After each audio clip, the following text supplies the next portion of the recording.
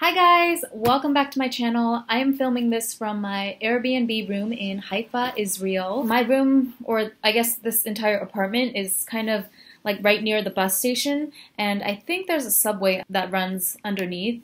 The only subway in Israel, apparently, according to my friend. So I apologize if there's loud traffic noises in the background. But I really wanted to get on here and just film like half a get ready with me. And more importantly, I wanted to play with the new Jaclyn Hill highlighter palette that I got. My friend brought for me over from the States. As you can tell, I'm filming on my webcam right now because I actually forgot to bring the little charger thing for my camera battery, which I am so mad about, but there's nothing that I can really do about that at this point. I was gonna just like finish up the rest of my face and then hopefully I think I still have a tiny bit of juice left on my camera battery so hopefully I'll be able to at least get you some HD shots of the Jaclyn Hill palette. More specifically the Jaclyn Cosmetics Accent Light Duo because I did get the set that also comes with a brush. This is just an empty box. I have the brush and the palette right here, so I think I'm actually going to attempt to use this as eyeshadow because I purchased the Flare. By the time that I finally got around to ordering it from their website, they only had the Flare palette left, which is fine because I figure I can just use the lightest shade for highlight and the rest I'll use as um, eyeshadow. It kind of reminds me of a certain Tom Ford eyeshadow palette, doesn't it? I forget the name, but I'll insert a picture if I can find it. But before that, I have to put some foundation on my face. Um, so I already laid down my base and sunscreen and everything. I'm going to be going in with the Missha M Cushion Foundation. I think the M stands for moisture, and this has SPF 50 plus PA+++, plus but more importantly, it is a limited edition Kirby design with the store Its'Demo in Japan. I think in my travel makeup bag packing video, I had stated that I was going to bring this along with my usual Kate foundation. Yeah, I ended up just bringing this and it's been working out really beautifully. Why add more dead weight to the luggage, right? Now, the only minorly annoying thing about this is that this film on top of the mirror is kind of hard to get off. Like right now you can see it's finally peeling off because I've been scratching at it with my nail for so long. But there's no like tab or anything to help you lift it off. So anyway, that's just a minor, minor complaint. Now it's off and we have a beautiful mirrored cushion foundation compact. Sorry, there's like cars beeping behind me. This is not like my Tokyo apartment where I can just wait it out for people to pass by. The traffic noises here are pretty much ongoing, in this apartment at least. Okay, so yeah, I actually don't really enjoy using this puff that comes with it, although it is truly adorable with the Kirby face. But um, what I am going to do is I'm just going to take my Rosy Rosa sponge and oof, start dipping in. I'm actually really, really impressed by this foundation. It's super light and fresh feeling. And it does live up to its name of Moisture Cushion Foundation. It definitely has a very dewy, moist, glowy finish without making me look oily, which is always my fear with those kinds of formulas. I found that the best way to apply this, and perhaps all other foundations from now on too, is to do these really light tapping motions. Or actually, medium pressure I think works best. So medium to hard bouncing tapping motions with a sponge. Now, I don't know how much of it is due to the actual formulation of this foundation, or maybe it's a mixture of this and my Prima Vista face primer, but I have been having the most glowing, amazing, all day lasting makeup for the entire time that I've been here in Israel. I mean, maybe it's the Israel atmosphere, who knows? It could be that. But in any case, I feel like I found a really winning combination here with you know, the primer plus the cushion foundation and the application, the bouncy, pouncy application technique. It doesn't just look good for like the first couple of hours. I'm talking like 12, 13 hours later. I go up to check my makeup in the middle of dinner and I'm looking in the bathroom mirror at the restaurant and it's like, wow, still pretty much as fresh and even looking as when I first applied that morning. All right, so that is the base. I'm going to do my eyebrows, bronzer, and blush off camera. Oh, you know what I totally forgot? I have been using L'Oreal Infallible Full Wear Concealer. Usually I do that under the foundation, but it's okay. We can put it on over and then just blend it all out with the residue from the sponge.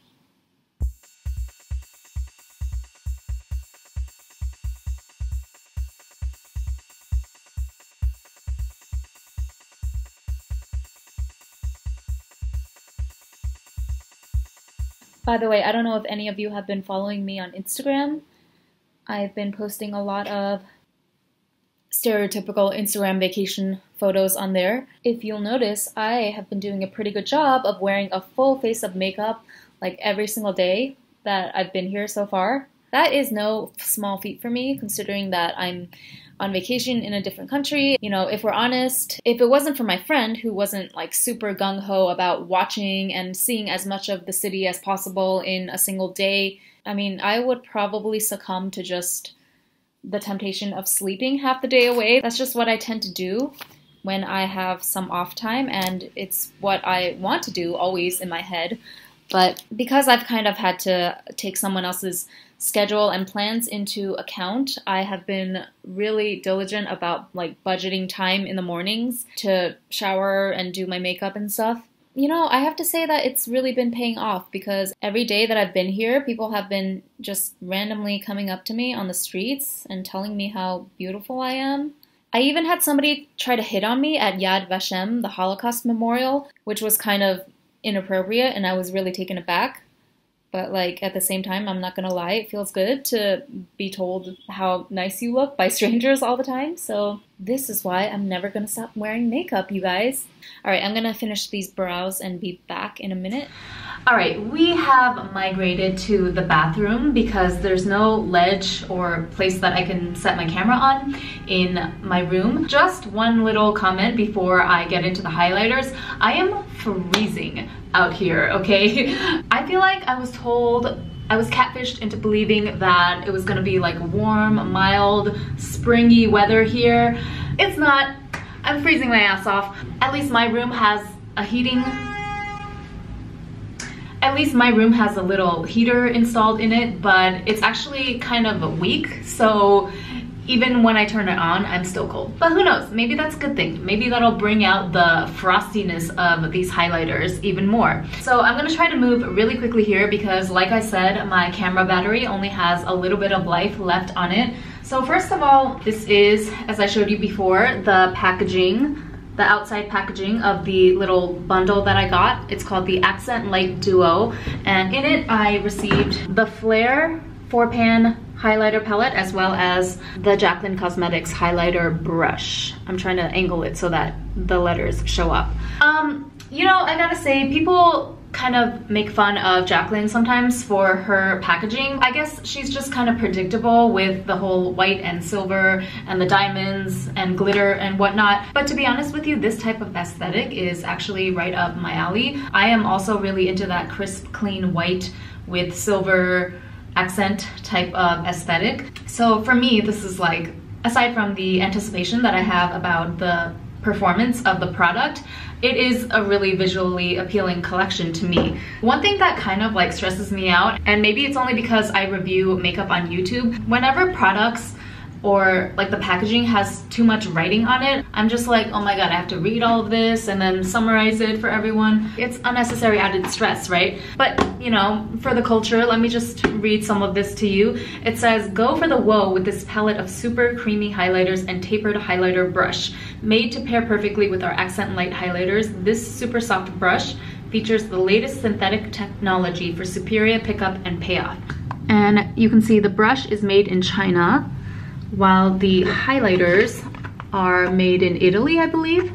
Oh yeah, it's printed on the back of the actual palette, which will not focus because this is a mirror, so the camera's like focusing in on itself. But it says made in Italy on this palette. Pretty much exactly what I expected from seeing a bunch of other reviews on this. Why is that not focusing?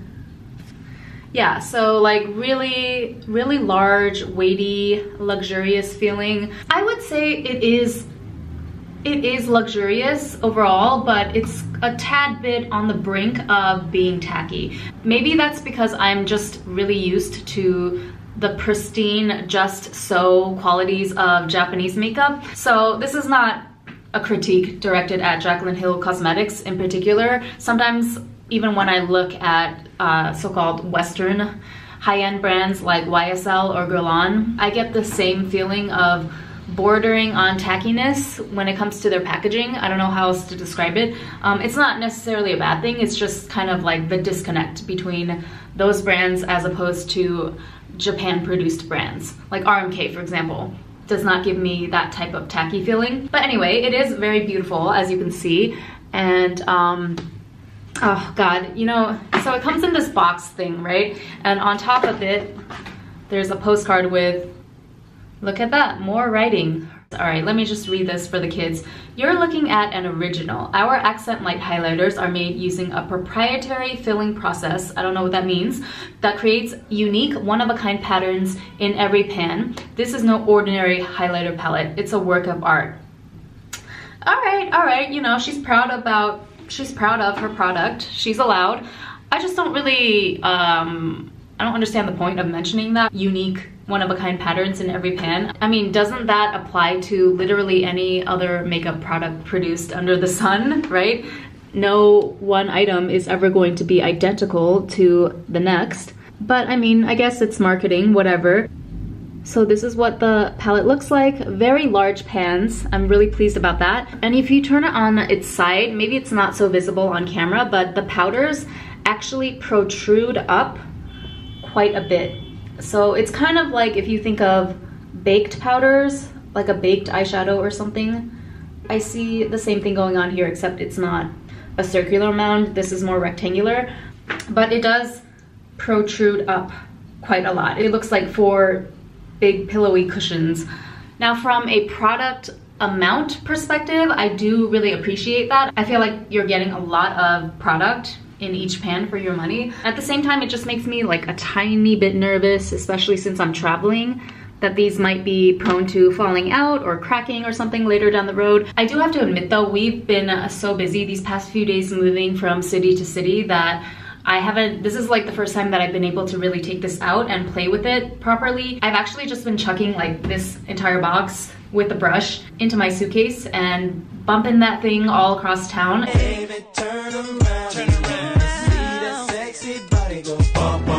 You know, if I had more time to think about it, I would not have chosen to do that. But since we were in such a rush, I kind of just threw it in there and prayed for the best. I have to say, very impressed with the resiliency of these shadows. Not a single crack or fissure to be seen. And from this point forth, I'm going to actually keep this in my carry-on bag. I'm so sorry, I have been rambling this entire time. Here are the swatches on the back of my hand.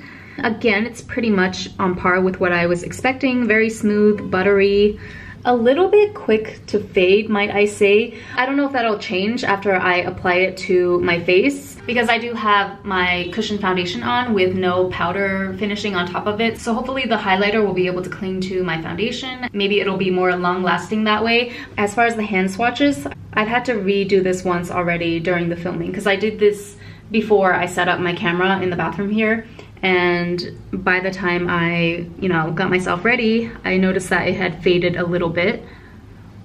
But colors and finish wise, it's very pretty. Now it definitely looks like a formula that is going to emphasize the like the texture and the fine lines in your face. But then again, I think that's kind of inevitable for any type of blinding highlight. Usually when people don't want to draw attention to their texture or they have more mature skin, they go for a softer, more natural option. But we are not about that on this channel, at least not most of the time, and especially not on vacation. I'm just pulling out the brush right now. Ooh, okay, this is her little highlighting brush. I was actually really excited about this as well, almost more than the palette itself, because I've never quite seen a highlighting brush designed exactly like this. I just have a good feeling about this shape and size of brush. Oh yeah, that's really soft. So this is the J02 brush and it is synthetic. It has a clear handle with a glitter gradation right here. I have a good feeling about this brush, you guys. I want to put this on my cheeks right now. Okay, so it picks up the product really well. So this is the shade Glow Up in the top left. Ooh. I feel like my right cheekbone is like an iota more poppin' than my left cheekbone. See that point right there? That doesn't exist on my left cheek. It looks like it does because I put the highlight there, but this one is more protruding. Okay, wow, yes. I really love the density of this brush. It's not quite as blinding as I thought it would be, but maybe that's a good thing because I feel like you can build this up as well. So you can control the amount of luminosity that you want depending on your mood or the scene that you find yourself in on any given day or night. It's really nice though. It's almost like a wet sheen effect. Like really healthy and dewy. Kind of almost looks like sweat glistening on your skin, but in a really good way. Like after you've been for a light jog or something. Some push-ups, some light cardio, none of which are things that I participate in. Pretty scent free for the most part. I could have sworn there was like a light vanilla scent in there, but maybe I was just imagining things. Yeah, no, it doesn't smell like anything. There's a tiny, tiny hint of like sour-ish chemical smell. I know that the word sour sounds really bad, but it's not because it's rotten or anything. I can tell that it's just it's just the chemicals. All right, so I think I'm ready to finally get around to applying stuff on my eyes. I'm actually going to be using one of my RMK Stone Whip Eyes liquid moussey eyeshadows as a base because I don't feel like dealing with eyeshadow primer today and my battery's gonna die so we'll continue this on webcam. Back to the low def life. Alright, I am going to take this RMK Stone Whip Eyes eyeshadow in number, wait, I'm gonna use this one, number six, toe, two, two mines? like two minds are better than one, I'm guessing. Um, so these are both in, God, you can't really tell on this camera, but these are both in the reddish burgundy family. Now you would expect that this one would be more dramatic because it's darker, but it's actually more wearable, I think, than the red one. I'll swatch both for you because why not? This one is actually a more purplish plum base than this one, now this one comes across pretty mild as well on this camera. Like it almost matches my nail color right there, but it's actually really bright and noticeable when you put it on your eyes. I think because this one, there's more of a metallic base to it when you spread it out, whereas this one is just more smoky and natural looking. So we're gonna go with the purple number six. The difficult thing about these shadows is that it is really hard to control the way that these blend out. Like you kind of have to use your fingers because they don't work that well with brushes. But if you can see, it's kind of like difficult to control the way that the gradient fans out. See, I already kind of messed it up, but at the same time, it's okay because I feel like I can afford to be a little more sloppy with this color. Not so much with the brighter red though. I am so sorry about the bus noises in the background. You're also kind of under a time constraint because it basically dries down within 30 seconds. So you have 30 seconds to move it around and to adjust it to the intensity that you want. But then once it sets, it's not going to budge. They're not for everyone, you know, but I think I have gotten pretty good practice with using them on this trip in particular. It is a great product in the sense that you only need one shade to um, create an entire eye look. You can use your fingers, you don't have to bring extra tools with you, which is always a pain when you're traveling. Oh, and actually, you want to know what's a huge bonus about this formula. These eyeshadows do not stain your eyes whatsoever. I can leave these on for 13, 14, 15 hours as I have been doing for the past week.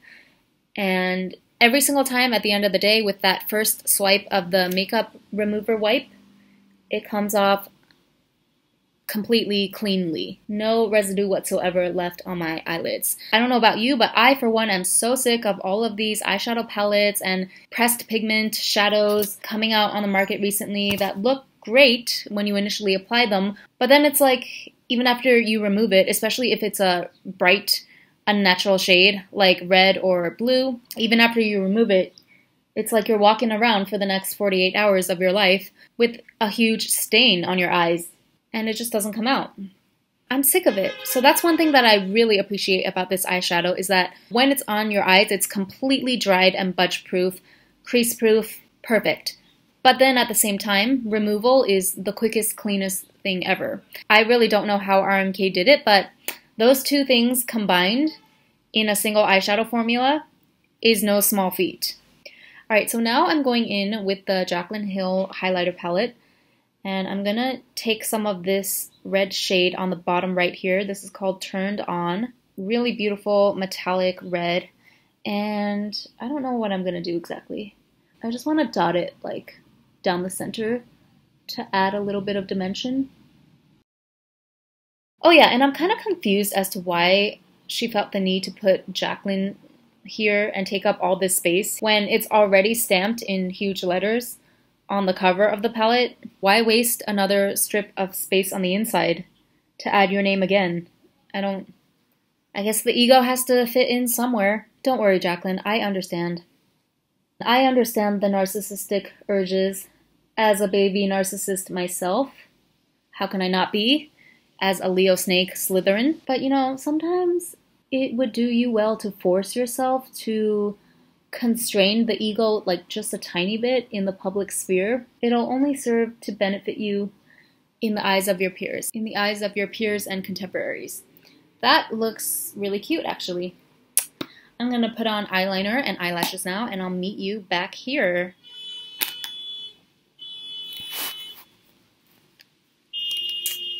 Alright, so let me put on let me put on some finishing touches. I'm just to go in with this. Oh my god, what the hell?